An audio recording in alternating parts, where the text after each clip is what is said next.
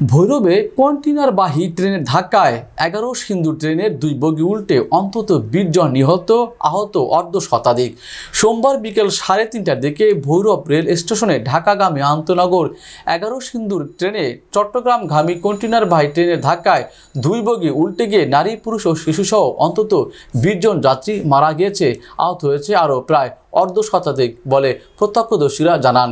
সোমবার বিকেল আনুমানিক সাড়ে তিনটার দিকে ভৈরব রেলওয়ে স্টেশনের আউটার সিগন্যালের সামনে এ মর্মান্তিক দুর্ঘটনা ঘটে।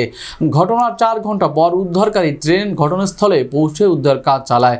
ঘটনার পর Bhairab fire service, Bhairab railway police, Bhairab থানা পুলিশ ও কিশোরগঞ্জ জিবি পুলিশ ঘটনাস্থলে পৌঁছে উদ্ধার কাজে শুরু করেন। তবে এখনও উদ্ধার কাজ চলমান রয়েছে। ঘটনার পরপর ভৈরব স্টেশনের কেবিন মাস্টার সহ বেশ কিছু কর্মকর্তা পালিয়ে যায়। হাসপাতাল সূত্রে জানা যায়, আহত হয়েছে একাত্তর জন। মুমূর্ষ অবস্থায় ঢাকা প্রেরণ করা হয়েছে একুশ জনকে। তাদের মধ্যে চারজনের অবস্থা আশঙ্কাজনক। এই ঘটনা ঢাকা, সিলেট, ঢাকা, চট্টগ্রাম রেলপথ ট্রেন চলাচল বন্ধ রয়েছে। খবর পেয়ে সাংসদ নাজমুল হাসান পাপন ঘটনাস্থল পরিদর্শন করেছেন। এখানে কিছু না আসলে আমরা তাদের অবস্থা খুব ভয়াবহ। আমরা আমাদের মতো কাজ করতেছি আরও বিভিন্ন ভাই সঙ্গে বলছি। তারাও ভাই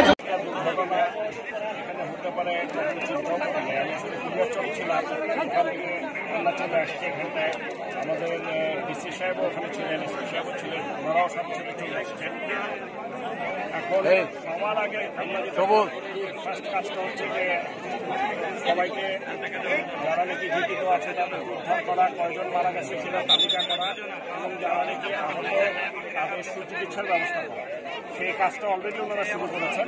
অলরেডি আমি ওনাদের সাথে মিটিং পেয়েছি ওনারা মন্ত্রণালয় যা যা করা দরকার সবাই তাদের সহযোগিতা করার জন্য অলরেডি কাজ শুরু করে দিয়েছে। তারপর আমি ওনাদেরকে বলেছি যদি এরপরও কোনো ধরনের সাহায্য সহযোগিতা লাগে।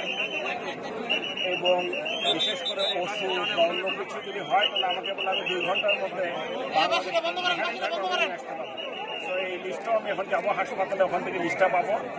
এগারো শুধু ট্রেনের বগি আমাদের মধ্যে বন্ধ করবেন আমরা এখন পর্যন্ত লাস্ট পেয়েছি। অনেক মানুষজন আহত হয়েছেন। আপনারা জানেন ভৈরব যোগাযোগের জন্য একটা ভালো জায়গা। এখানে উনচল্লিশটা আমাদের ক্লিনিক রয়েছে একটা সরকারি হসপিটাল রয়েছে। আহত লোকজন সেখানে চিকিৎসা নিচ্ছেন। আমাদের জেলা থেকে এবং পার্শ্ববর্তী জেলা থেকে যত অ্যাম্বুলেন্স প্রয়োজন হয় আমরা সকল অ্যাম্বুলেন্স এনেছি। স্বাস্থ্য মন্ত্রণালয়ের সাথে কথা হয়েছে। ওনারা আমাদেরকে অনেক সহযোগিতা করেছেন। আশেপাশের সকল উপজেলা থেকে ডাক্তার এবং অন্যান্য সাহায্যকারী ওষুধপত্র স্যালাইন সহ তারা আমাদের এই ভৈরব হাসপাতালে এসেছেন। এই এই ট্রেন যোগাযোগ যাতে দ্রুত চালু হয় এই বিষয়েও কথা হয়েছে। রেকার আমাদের অন দ্য ওয়েতে আছে। রেকার আসলে এটা তোলা হবে বলে তিনটি এটি তুলে দেখা যাবে যে নিচে যদি কেউ কোনো ঘটনা ঘটে থাকে, নিচে যদি কেউ থেকে থাকেন, কোনো লাশ পাওয়া যায়, সেটা তখন জানা যাবে। আর এছাড়া অন্যান্য সার্বিক পরিস্থিতি এখন আমাদের নিয়ন্ত্রণে রয়েছে। আর ফায়ার সার্ভিসের লোকজন আজকে অনেক পরিশ্রম করেছেন, আমাদের পুলিশ বাহিনীর লোকজন পরিশ্রম করেছেন। সাধারণ জনগণ এখানে এসে উদ্ধার কাজে সম্পৃক্ত হয়েছেন। আশা করছি এরপরে আর তেমন হয়তো লাশ পাওয়ার সম্ভাবনা নাই। তারপরে ওই চিন্তা বগি উঠালে হয়তো আমরা বলতে পারব। সেই লাশগুলো আমাদের হসপিটালে পাঠানো হয়েছে। এখানে আমাদের জেলা প্রশাসনের কন্ট্রোল রুম রয়েছে।